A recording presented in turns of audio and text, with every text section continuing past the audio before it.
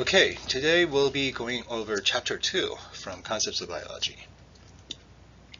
This chapter deals with chemistry of life. So here's an example of DNA molecule, uh, illustration of DNA, DNA molecule. It's a double helix DNA molecule. It's called a double helix because there are two of them. Nucleic acids are the macromolecules made up of repeating units called nucleotides that direct cellular activities such as cell division and protein synthesis. Each nucleotide is made up of a pentose sugar, nitrogen base, and a phosphate group. There are two types of nucleic acids, DNA and RNA, and they're all made up of atoms. So what are atoms? The matter, which occupies space and has mass, are made up of elements and the elements are that which cannot be broken down further. And the atom is one unit of that element. There are 118 known elements, and 92 occurs naturally, and fewer than 30 occur in living cells. Why do we take uh, mineral supplements? Minerals are often uh, elements in their ionic forms, ionic salts. and minerals are also often function as cofactors for the enzymes. So for instance, iron is a cofactor for hemoglobin. All atoms are made up of protons, neutrons, and electrons. Exception is the hydrogen, which only has one proton and one electron, and no neutron. Proton has a charge of plus one, and mass of 1. Electron has charge of negative 1, but mass of about 0. It has a negligible mass. Neutron has no charge, which is why it's called neutron, but has a mass of 1. and how do, how do we describe an atom? You describe an atom's mass using the atomic mass unit, or AMU. Uh, this is also known as the mass number. Isotopes have same number of protons, but they have different number of neutrons. So carbon-12 contains 6 protons and 6 neutrons, ergo mass number of 12, and the atomic number of 6, which is the same as proton. But isotope carbon 14 contains six protons with eight neutral, eight neutrons. So what is its mass number? Protons plus neutron, 8 plus 6, or 14. That's where that name comes from. So here's the uh, periodic table showing all known uh, elements. Atomic number is shown on the left, on top. The symbol name is in the middle. Atomic mass is under the symbol and the columns like here shows the number of electron on the outside of the atom. And its chemical reactions depend on that uh, on those electrons on the outside or valence shell we call it. And the carbon dating is made possible because C14 is continually made in the atmosphere at, at uh, constant rate. So how does carbon dating work? C12 turns into C14 by cosmic rays constantly. And it's constant because the amount of cosmic ray is constant. And the plants constantly fix these carbon isotopes into glucose and, and other carbohydrates. And obviously animals eat the plants other animals eat the uh, lower animals. So the level of carbon-14 remains constant in a living organism. It's about as same as in the level, same as the level in the atmosphere. But once organism die, it no longer ingests this carbon isotope, and carbon-14 decays to carbon decays to nitrogen-14 by beta decay and it takes something like 5,730 years for about half of originally fixed carbon-14 to decay to nitrogen-14, meaning uh, uh, 5,730 year old specimen has half the C14 to C12 ratio compared to the original sample. So we said valence shell electrons are important for uh, chemical bonds. So what are these bonds? Well, first, how does carbon even get fixed by the plants? Carbon fixing requires forming bonds. And what are these bonds? There are three types of bonds, ionic bonds, covalent bonds, and hydrogen bonds. Ionic bonds involve charged interactions between different charges. Covalent bonds involves sharing electrons either in a polar or non-polar bond. And hydrogen bonds are, are dipole interaction. And these are what we call polar covalent bonds. And there's also a van der Waals interaction, which is similar to hydrogen bond, but without the uh, without the H, but due to charges. So here's a water molecule with polar covalent bond. Its polar covalent bond arise due to these partial charges on hydrogen and then on oxygen. Oxygen tend to hoard more of the negative charge, so oxygen becomes partially negative, and that makes proton or hydrogen partially positive. Here's an example of nonpolar covalent bond, methane shown here. Here's an, uh, here's an oxygen gas, O2, with two bonds or double bonds between them. And here are the three water molecule displaying hydrogen bonding. These are the charge interactions between negatively charged oxygen and partially positively charged hydrogen. Uh, it just comes down to water. Water is essential for life on Earth. About 60 to 70% of human body is made up of water. And hydrogen and oxygen in water form the polar covalent bond, differences in charge distribution. And oxygen hoards more of the electrons. This results in a dipole moment. Net dipole moment is that way towards the oxygen. And it's partially it's negative here it's positive here. And this is what allows this, these hydrogen bonds to form. It's a charge-charge interaction. Uh, this results in polar molecule like sugar to dissolve in water because polar molecules are hydrophilic, but non-polar molecules, like oil, do not dissolve in water. They're hydrophobic. That's why they float on top of water like this. Properties of water, import, one important property of water is that it stabilizes the surrounding temperature, or temperature in general. When you sweat, as your sweat dries, you, your body cools down. Why is that?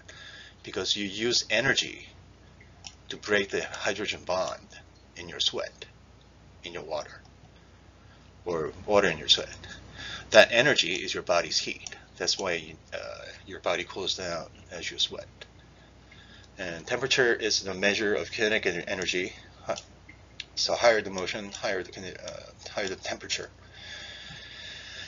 And water being liquid forms hydrogen bonds rapidly, which means can water can absorb heat and change temperature minimally. And this is what we call heat capacity. It ha water has high heat capacity. It can absorb a lot of heat without changing temperature. And why is San Jose so much more, so much cooler than Merced? Because San Jose is right next to the ocean and the ocean water is absorbing all the solar radiation. Um, water can also form lattice-like structure shown here through the hydrogen bonding. And this is the reason why it floats in water, because the rigid lattice structure formed by uh, hydrogen bonding, when it freezes, it occupies less space, or it's less dense. So the water flows, flows under the ice, and ice flows on top of the water. That's why ice floats to the top, ice. So then why don't fish freeze under, the, under a frozen lake? Because ice provides insulation. Ice froze from the water because of the air outside.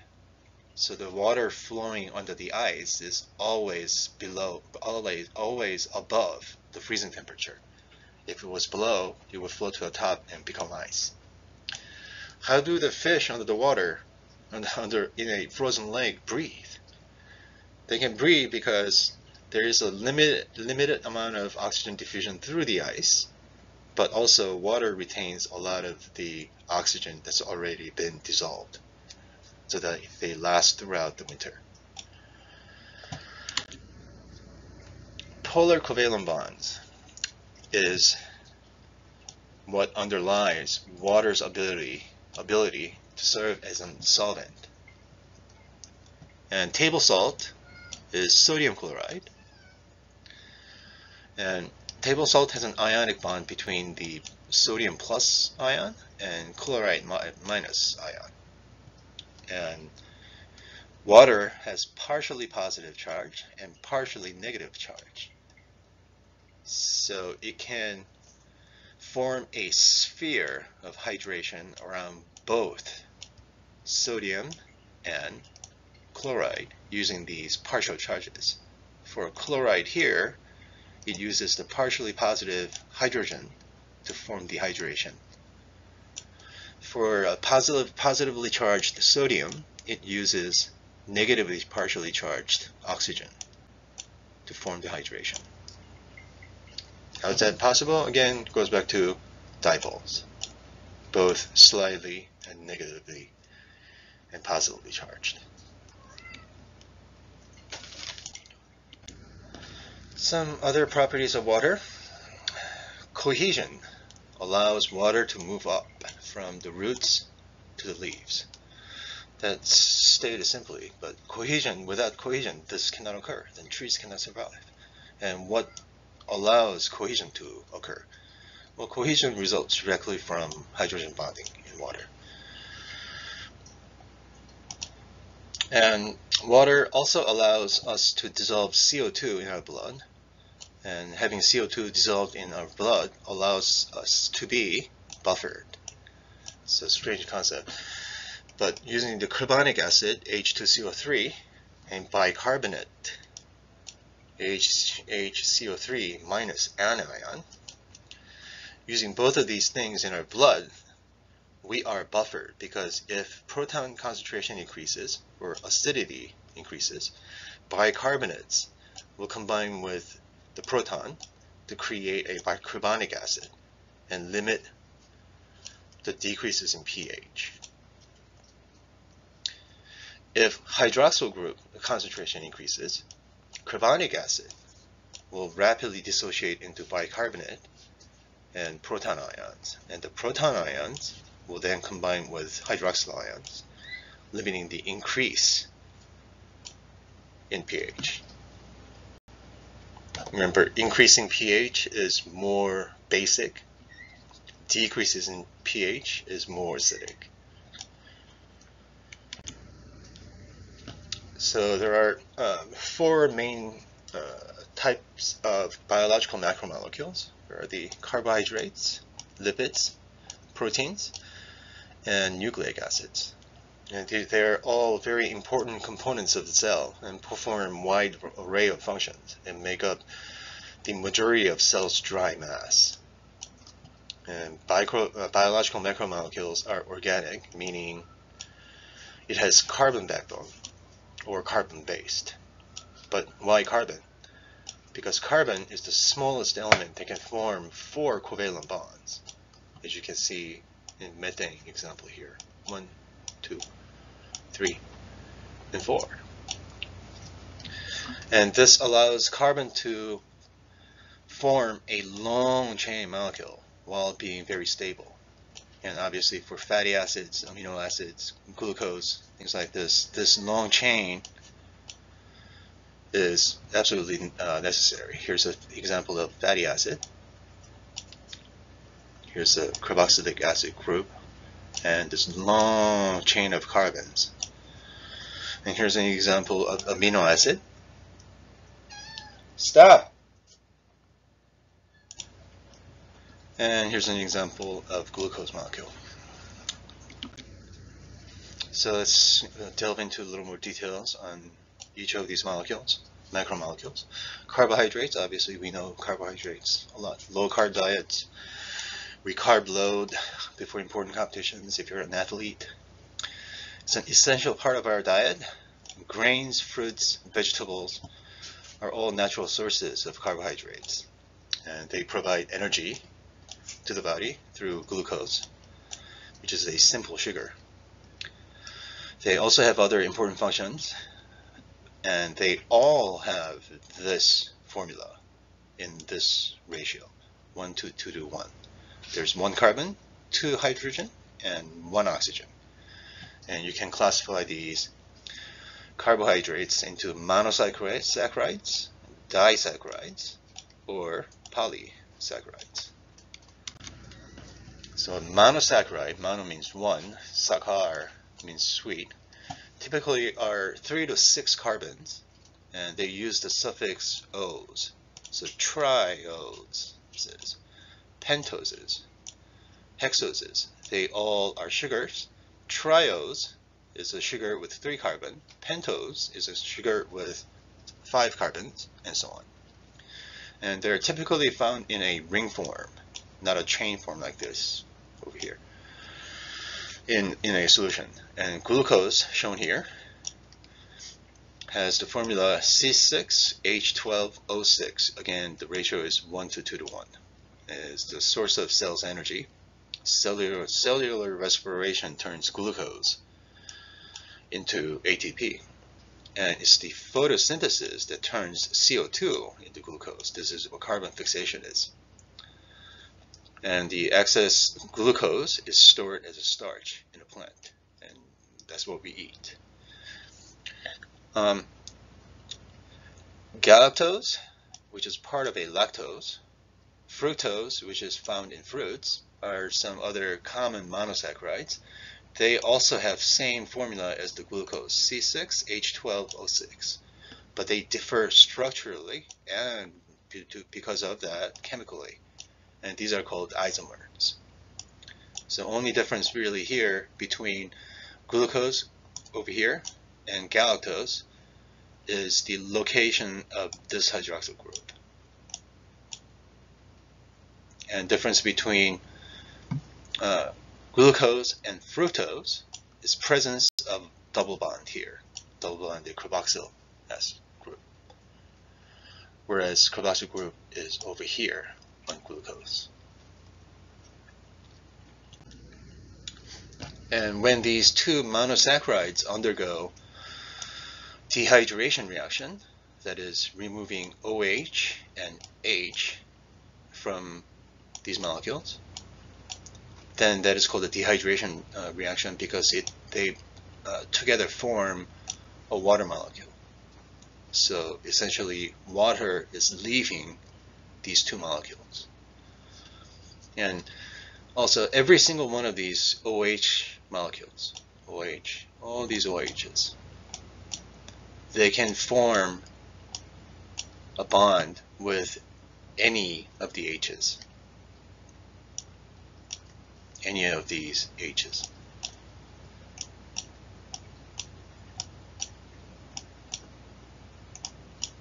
So given a glucose that's going to dimerize with another molecule of glucose, for instance. Given a single hydroxyl group, it has five other H's that it can combine with. And there are five hydroxyl groups on a single molecule. That means 5 times 5 or 25 possible co uh, bond combination just between combining two sugars. just creating that uh, sugar dimer, there are 25 possible combinations. That's how incredible biopolymers are. So how many possible uh, combinations are uh, there are, are, there given a three sugar molecule? Well, it's six times six, five times five times five. Six sugar molecule is five times five times five times five times five times six times. it's five raised to the power of six. Uh, polysaccharides are how uh, what forms from adding multiple adding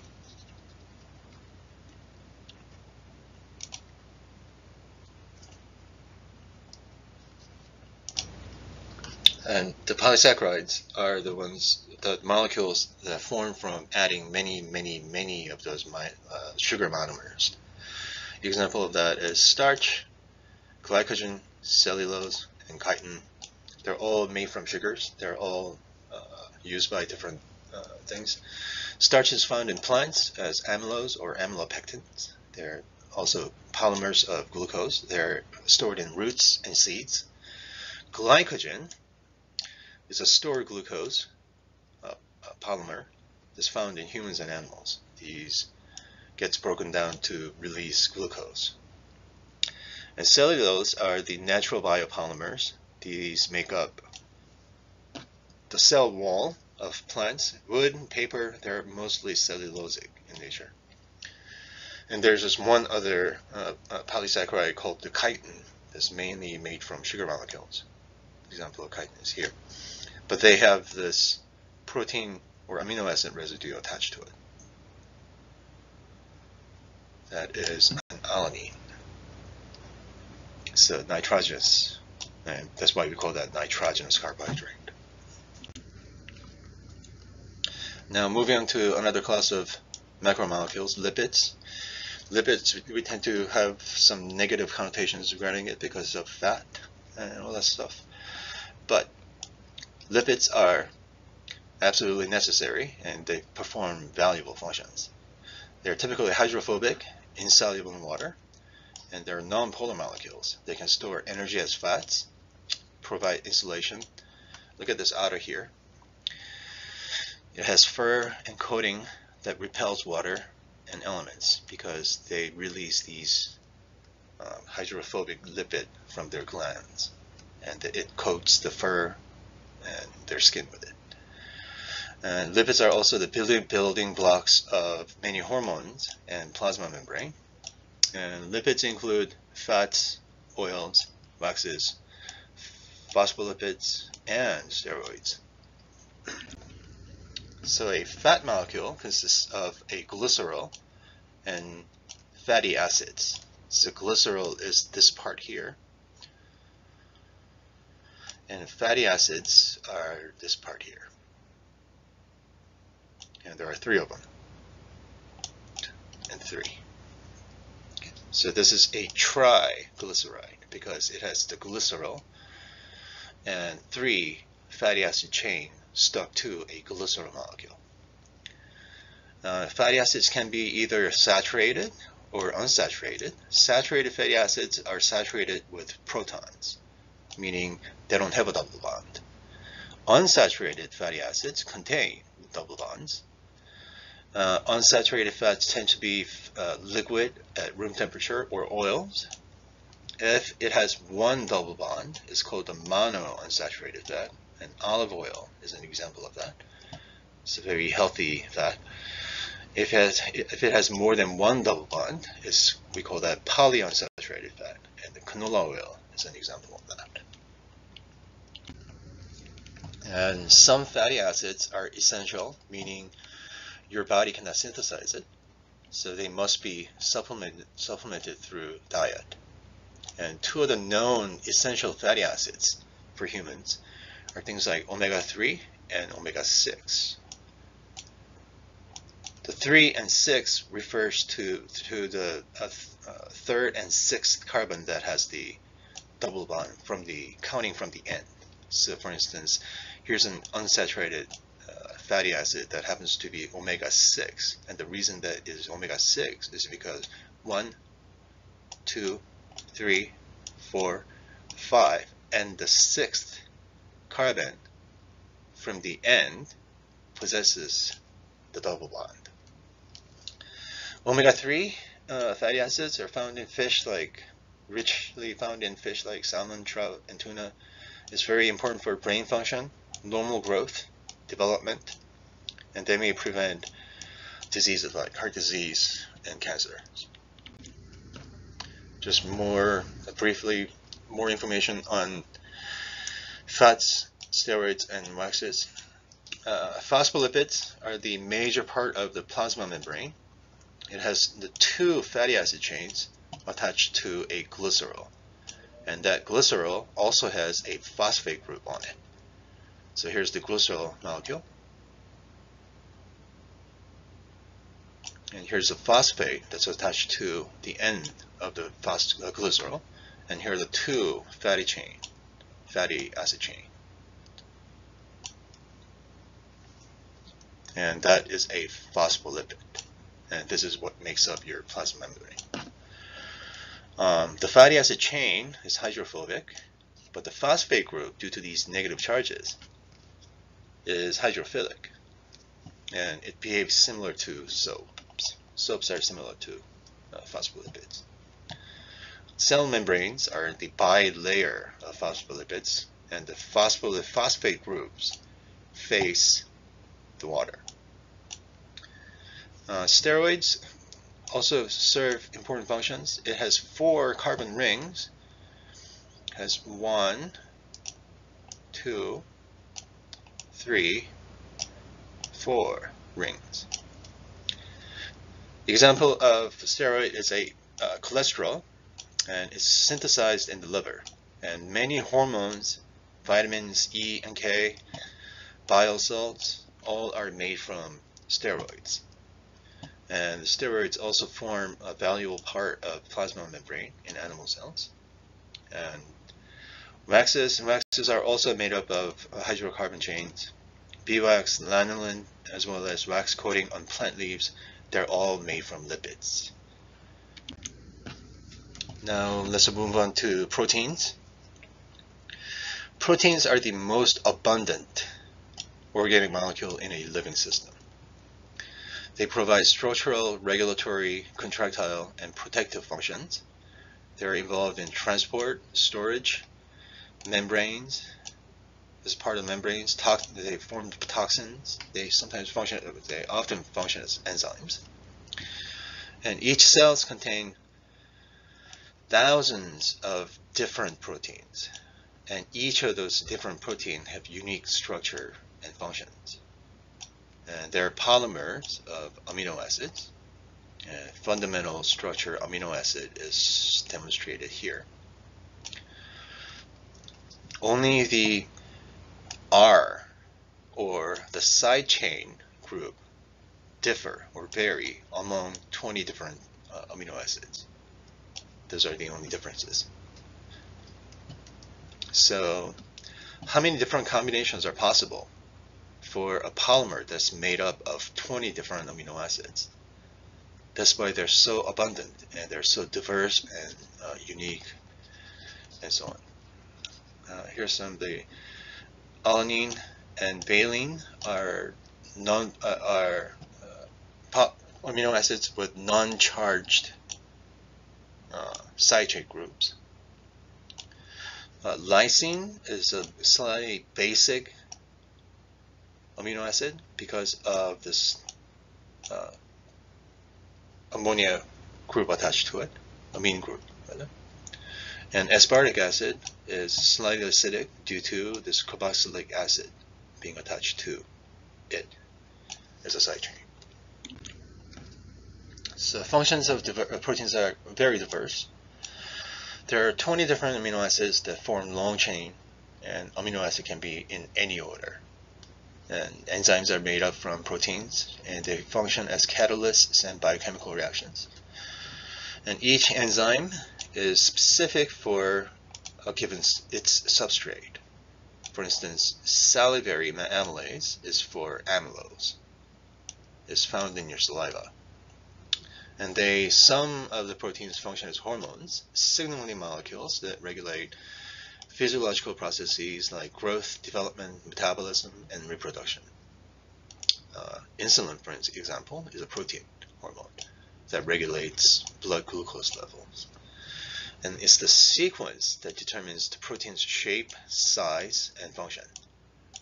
And the peptide bond is a special bond that hold together different uh, amino acids into a polypeptide.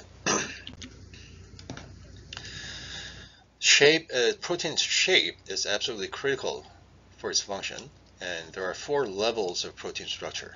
One is the primary uh, level, or the sequence itself. The secondary structure is the folding pattern based on the backbone. Only the backbones are interacting, not the side chains. And they form things like beta pleated sheet, alpha helix, and so on. And it's these secondary structure that fold in three-dimensional space to create this tertiary functioning structure.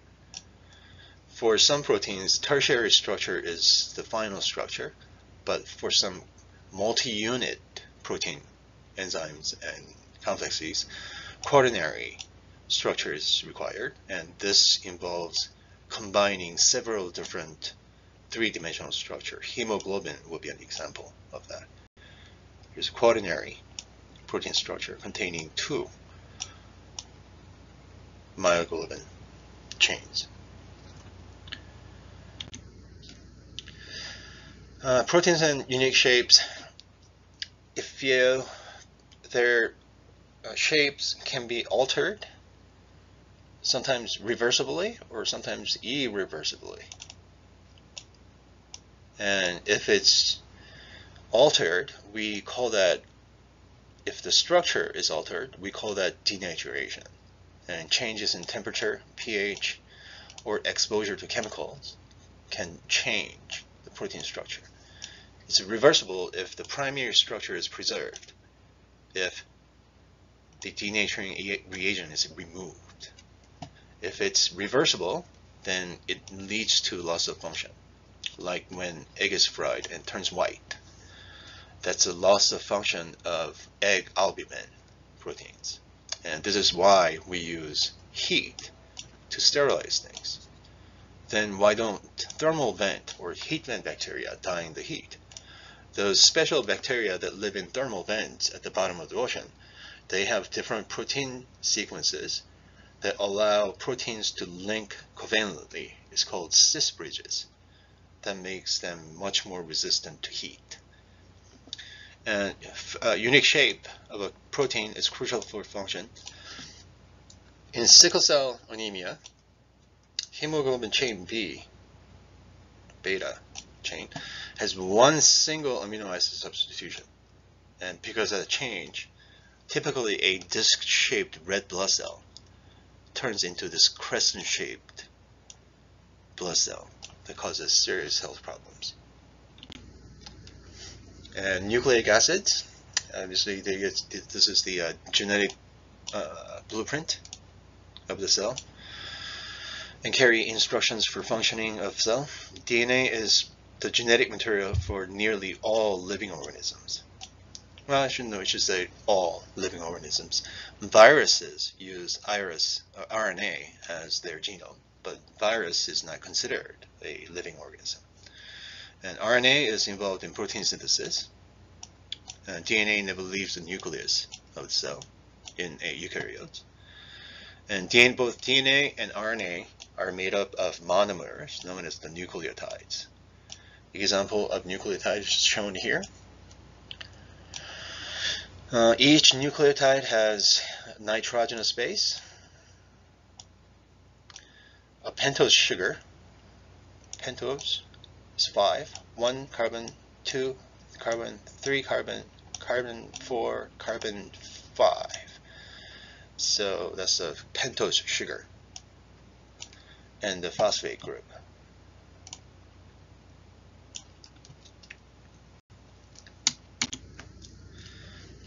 um, DNA's double helical structure, uh, two strands are bonded to each other at the bases using hydrogen bond again. And each strand coil about each other and which is where the name double helix comes, comes from. And Watson and Crick are the ones who solved that structure, won the Nobel Prize for it. But Rosalind Franklin was the uh, crystallographer who generated the data.